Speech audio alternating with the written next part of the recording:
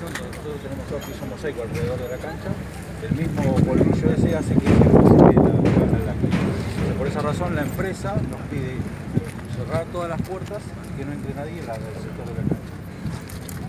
La obra consta de un buffet de recepción, eh, después son sectores, este es el ala pública, sector de baños de mujeres, de hombres, boleterías y baños discapacitados.